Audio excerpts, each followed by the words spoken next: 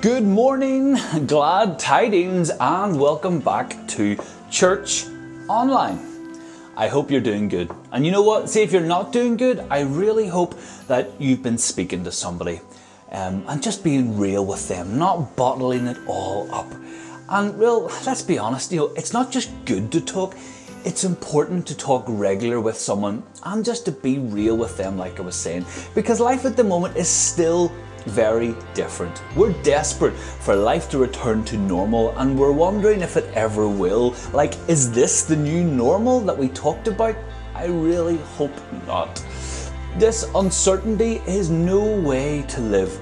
However, we all have our own different views and thoughts on what is still our current situation and that, I suppose, leads me on to the fact that we're still doing this. We're still waiting on our big steel staircase to be finished and delivered. Then we can look to building control and have this entire place signed off.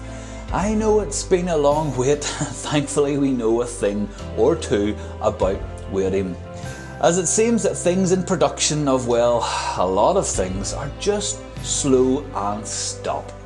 Now, we have been ploughing along with the final furnishings and the AV production install.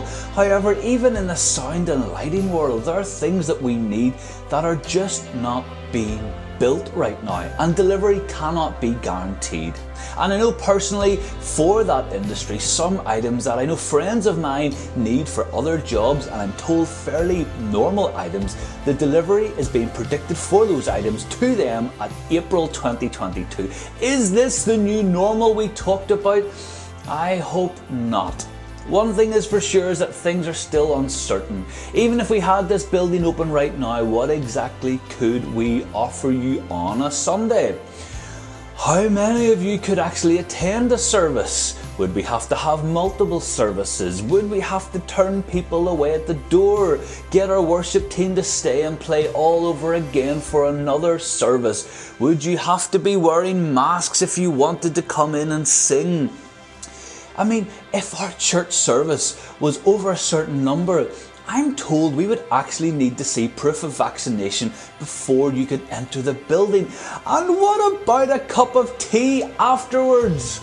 These are genuine concerns that churches have been facing from June 2020. And now, as leaders, it's our turn to think and to talk about what restrictions, if any, we need or want to lay down for your safety. Is this the new normal? I hope not. So, in every setback we have here, I try and see the positive, and that's what gets me through the days and the weeks that I spend down here.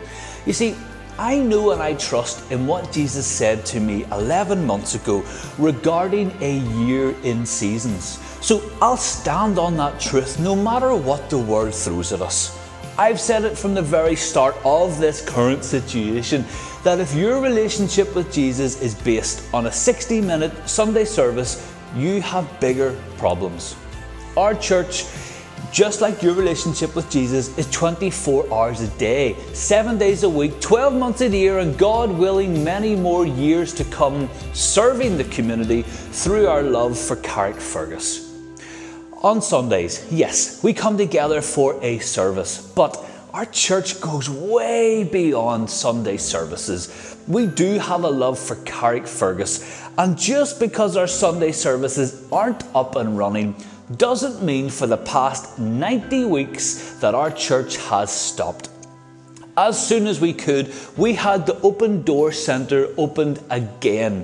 When it was safe to, we brought all the ministries back together again. And even when times were tough, even when restrictions were tight and things were very, maybe extremely uncertain, some of our teams were still operating, helping and making sure families were safe, taking care of their shopping needs, phone calls, and having doorstep visits.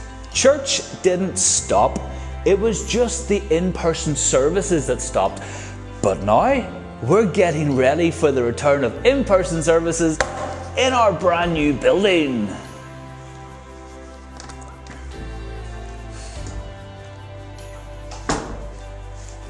Now, again, as we assess the current situation, it also leaves the question to be asked about Christmas services. So, I guess this is as good a time as any to answer those questions.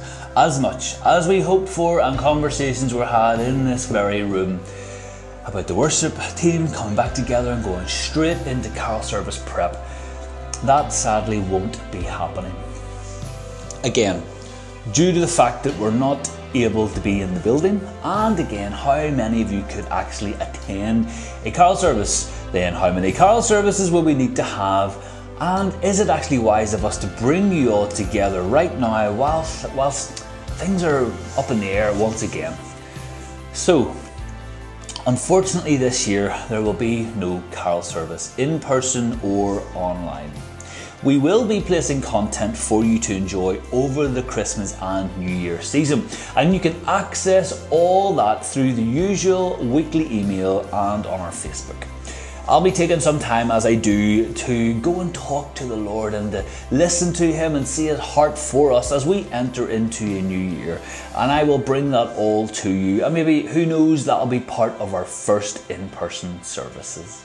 There will also be something going out on, uh, basically following the new year on Sunday the 2nd, I believe. I say something as this will entail someone to actually come in over the Christmas holiday with something that they have prepared. Then they will have to get it recorded, then somebody will need to edit that video and then upload it.